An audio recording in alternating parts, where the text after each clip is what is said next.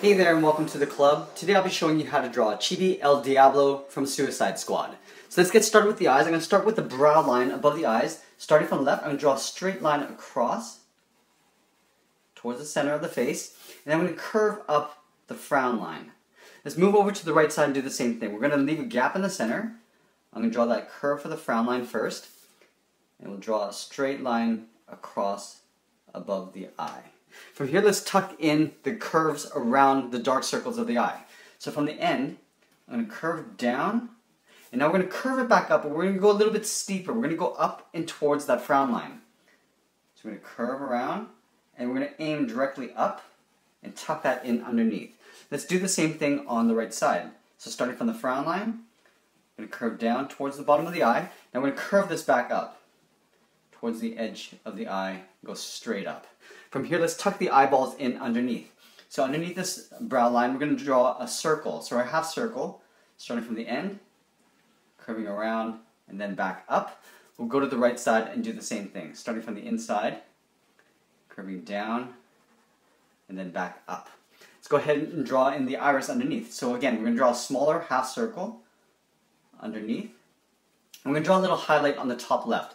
So back at the start here, we're going to curve around for a small little highlight, we'll color the iris in black. Let's go to the right side and do the same thing. So starting on the inside, we're going to draw a small half circle. We're going to draw that little highlight. Then we'll color everything else in black. Let's go ahead and color in the dark circle around the eyes in black as well.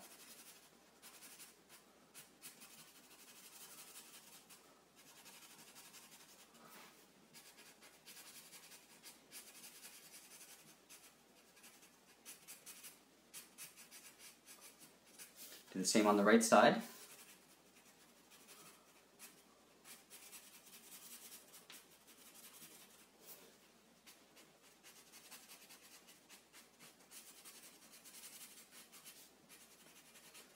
Let's go ahead and add some more frown lines in the center here. So on the left side, I'm just going to curve up, and on the right, I'll curve up. From this point, let's move down towards the center of the face and draw on the nose. So we're going to start up here, we're going to draw a point. From this point, I want to draw like a raindrop shape. So we're going to come down to the bottom of the nose, curve back up to the top. From here, I'm going to take this point, draw an angle line out towards the left, and an angle line out towards the right. So it looks like a V shape. From here, we'll take this end, we'll curve around the nose, and then just tuck that in underneath that curve. We'll do the same thing on the right side, and we'll color that in black.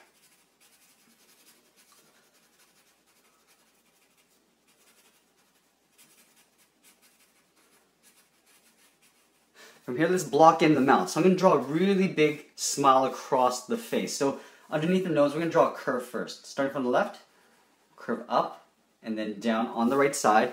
We'll take these points and curve them up towards each eye. So curving up. That. And then we'll layer in the tattooed teeth across the top row here. So we're going to start in the middle, and curve up, and then down. We're going to continue this along the top row draw maybe, we'll fit in five of these on either side. So five here. Now from this end, I want to curve up and in towards the top of that tooth. Curving up like that. We're going to color the end in here black. Let's go to the right side and do the same thing. So we're going to work backwards.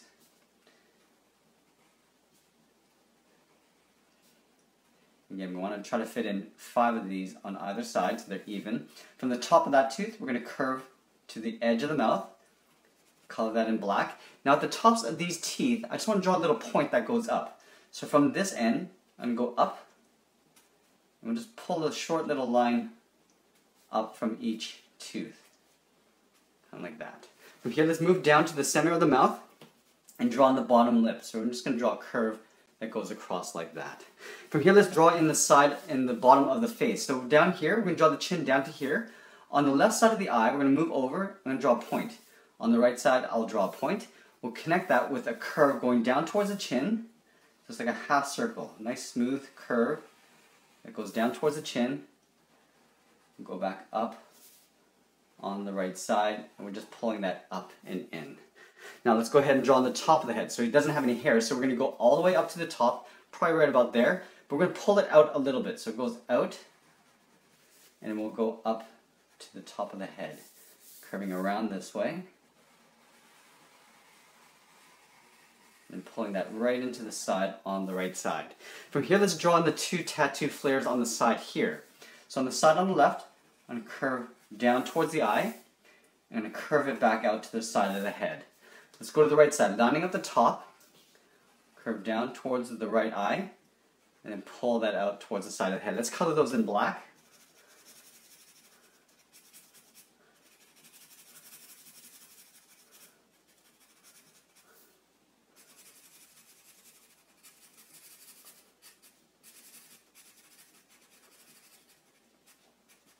Let's add some more tattoo detail. So in the center of the head here, he has a sickle tattoo. So I'm going to do is I'm going to start just right of center, just moving over. I'm going to curve down and then out towards the left. We're going to draw a straight short line along the bottom and we're going to taper it back up. So we're going to follow this line back up and as we get to the top, we'll just pull it into a point.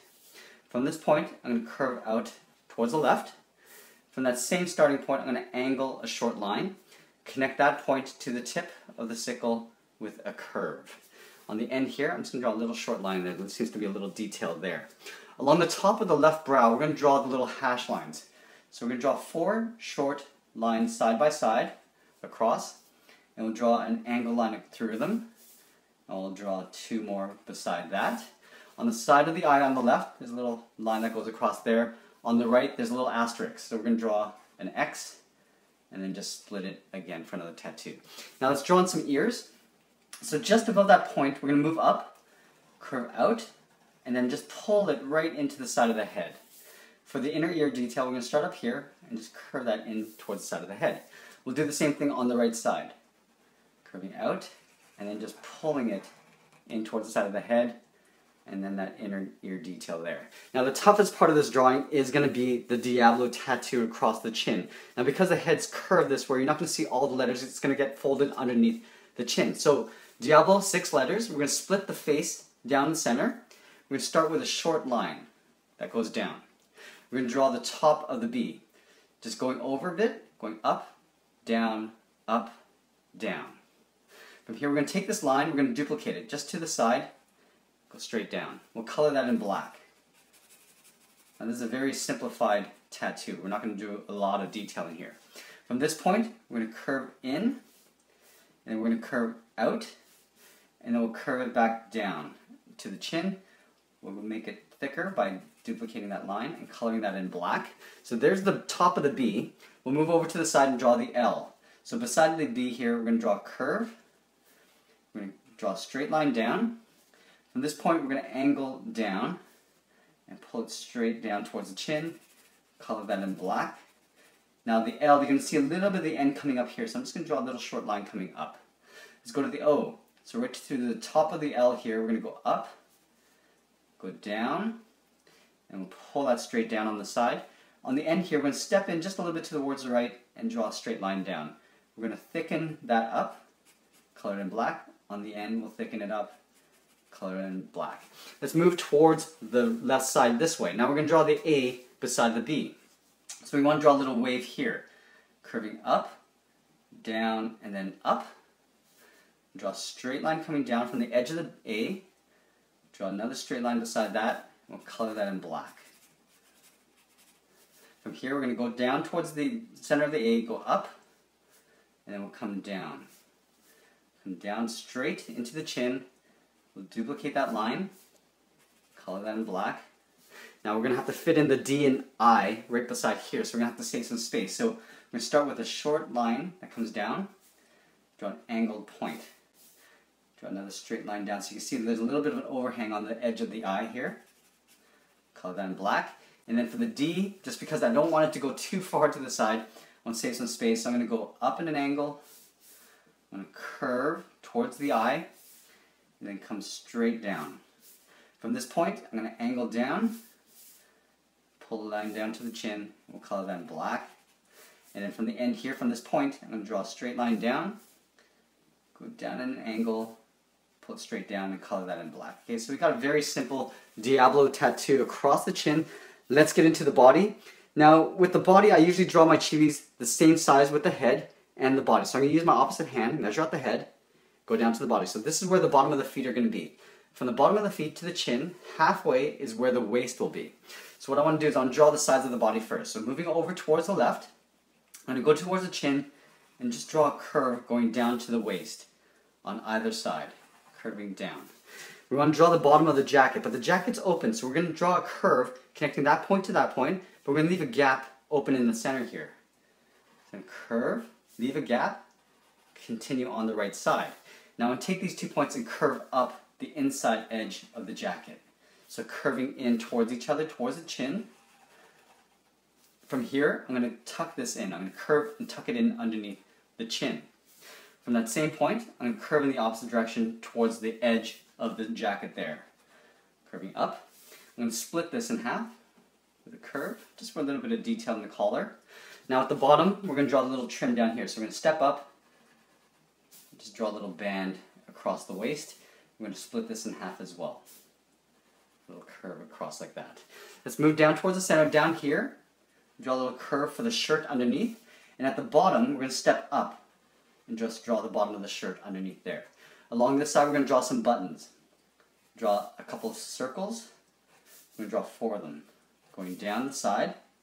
And we're going to go to this side on the right and draw the same thing. Draw four little circles on this side as well. And then over here, he's got the Diablo little badge. I'm not going to get into the detail, so I just want to draw in a rectangle. And you can add some more detail in there if you'd like. From here, let's move down towards the legs. So again, the bottom of the feet are down here. We're going to move down the middle, draw a curve for the lower torso. I want to draw a little fly here. Draw two lines side by side, and just connect it at the bottom. On the left side here, we're going to move in toward the right, and just draw a curve down towards the heel for the inside of the leg. On the right, we'll move over towards the left, curve down towards the heel on the right. We'll draw the bottoms of the feet. So from the heel to the toe, and draw a curve. On the right side, we'll do the same thing, so making sure they're the same length. We're going to draw the top of the feet. So from the toe, I want to curve up and almost imagine a half circle going towards the heel. But I'm not going to go all the way. I'm going to go up towards the top of the foot and just come down to about there. From here, I'm going to curve in the opposite direction towards the back of the leg. Let's do the same thing on the right side. So starting on the back of the leg, curving up. Then we're going to round out the top of the foot towards the toe. And then underneath the jacket on the hips, we're going to curve down the, the front of the legs towards the top of the foot. So just at the top of the curve of the foot on both sides. Here, let's add some detail in the shoes. We're going to add some soles. So we're going to step up and just trace that line just above the bottom of the feet on both sides. We're going to draw a little toe cap. So on the left side, we're going to curve, little toe cap. On the right, do the same thing. Let's add some little lace detail. So right up here, draw an angled line going to the, the bottom of the pant. Draw that twice. And then along this space here, I'm just going to draw maybe two curves across for the laces. Let's do the same thing on the right. Draw an angled line. Draw that twice and draw two curves for the laces. Let's get into the arms. So I'm going to have the arms out in fists, and they're going to make them flaming. So we're going to put some big flames up from the fist. Let's start with the one on the left. So from the shoulder, coming down to the elbow, out towards the fist. So we're going to draw on the fist first. So right here, I'm going to start in the wrist line, curving up, down, and I'm going to pull this line up in towards the center of that curve there. From here, I'm going to curve back. This is the meat of the hand. We're going to layer in some fingers. So from the side of the thumb, curve out and in. Layer a second finger. So underneath this finger, we'll curve out and we'll pull it down and around in behind that thumb. Do that one more time for one more finger. We'll pull that right in there. Now we want to draw in the bottom of the fist here. So curving around. Now this, I'm going to pull it right into the side of that thumb there, in the wrist line. Let's draw on the top of the arm. So right beside this thumb, draw an angled line going towards the body and then we'll curve it underneath the chin. On the bottom of the fist here, we're going to curve in behind the body. We'll draw the little wrist um, cuff here, so we're going to draw a curve going across. We'll split that in half like that. Let's do the same thing on the right side before we get into the flame. So again, shoulders down to the elbow, across to the fist. We're going to start with this part of the knuckle of the fist first. So right here, curving up, down, and then pulling it up about halfway into that curve there. Draw the first finger, the curve, tuck it in behind the thumb. Draw the second finger in behind the thumb. And then the third finger here, curving around. We could take this wrist line, curve the palm of the hand, and then tuck it in underneath that finger there. Let's draw on the top of the arm. So right here, from the side of the thumb here, I'm going to angle in, and then I'm going to angle it, curve it right in underneath the chin. Let's do the same thing on the bottom of the arm here. So right underneath the fist, I'm just going to curve this in behind the body. We'll draw the little wrist cuff. So up here, draw a curve. Just draw a little band strip inside. Now we can get into the flame. We'll start on the left side here. Underneath this finger, I just want to draw a little wave. It's almost like a backwards S, curving out, in, then out. We're going to pull that in so it tapers, so it gets a little bit wider as we come in. Now we want to draw a little S shape that curves up, like that. Here we're going to swirl around. Swirl around, and we're going to pull this back in, down, and back over towards the right. We'll take this, continue up. Now we're going to pull this back, down towards the fist. Now we want to go in the opposite direction. We curve out towards the right. Now we're going to do a little wave, curving in and then down, like that. Let's do the same thing. We're going to take this, flip it over on the right side. We start with the inside part first. So we're going to mirror exactly what's going on here. Starting at the wrist, curve up, in towards the face, curve down. Now we're going to go up this way in the opposite direction, curving up. Now we want to swirl around here. So swirling this way, we're going to curve up, and then out. So we're just mirroring this. I'm going to curve around, swirl it back. So we got this part here, curve in, and then down. And flare this out here. Now we want to work our way back down towards the fist. So curving down, around, and then tuck that in underneath the fist. And that's pretty much it. There we have it. There's El Diablo from Suicide Squad. I hope you enjoyed this lesson. Thanks for watching, and we'll see you again soon.